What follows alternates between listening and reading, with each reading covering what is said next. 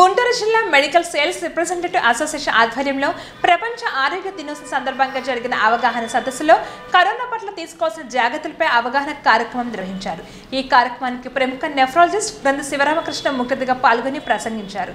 ఈ సందర్భంగా ప్రతి ఒక్కరూ జాగ్రత్తలు తీసుకుంటూ వ్యాక్సినేషన్పై అపోహలు వీడి ప్రతి ఒక్కరూ వ్యాక్సిన్ వేయించుకోవాలని పిలుపునిచ్చారు. ఈ కార్యక్రమంలో మెడికల్ సేల్స్ రిప్రజెంటేషన్ గుంటూరు జిల్లా కార్యవర్గ సభ్యులు పాల్గొన్నారు. ప్రపంచ ఆరోగ్య దినోత్సవం సందర్భంగా సంబంధించిన ఆరోగ్యాన్ని ఎలా కాపాడుకోవాలి? ఈ ఆరోగ్య సూచనలు ఇవ్వడానికి ప్రే- సమావేశం ఏర్పాటు చేయడం జరిగింది. దీనికి సంబంధించి కరోనా ఎలా ప్రివెంట్ చేయాలి? కరోనా వచ్చిన ఎలా ట్రీట్మెంట్ చేసుకోవాలి? అన్ని గురించి అందరికీ చక్కగా వివరించడం జరిగింది.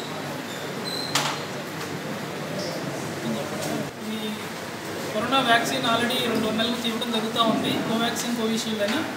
ఈ కోవాక్సిన్ కోవిషీల్డ్ ప్రతి ఒక్కళ్ళు వేసుకోవచ్చు. కాకపోతే ఏంటంటే కరోనా వ్యాక్సిన్ వేసుకుంటే జబ్బు రాదు అని కాదు. జబ్బు వస్తే దాని సివియారిటీ తక్కువగా వస్తుంది.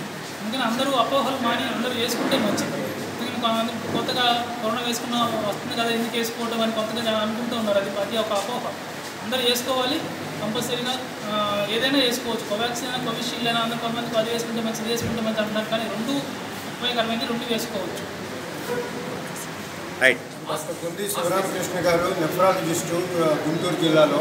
ఆయన ప్రపంచ ఆరోగ్య దినోత్సవం సందర్భంగా ఈ రోజున మెడికల్ అండ్ సేల్స్ రిప్రజెంటేటివ్స్ పెట్టిన మీటింగ్కి వచ్చి కరోనా వ్యాప్తి దాని మీద ప్రభుత్వం తీసుకోవాల్సిన చర్యల మీద వివరించారు సభ్యులందరికీ కూడా.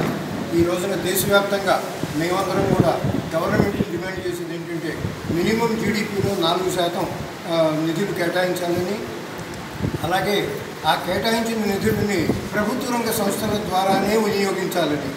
ఆ విధంగా దానికి ప్రజలకు మేలు జరగాలని చెప్పి కూడా మేము డిమాండ్ చేస్తున్నాం. దేశవ్యాప్తంగా మూడు వందల ఎనభై జిల్లాల్లో ఈ శాఖల్లో మేము ప్రజల డాక్టర్స్ దృష్టికి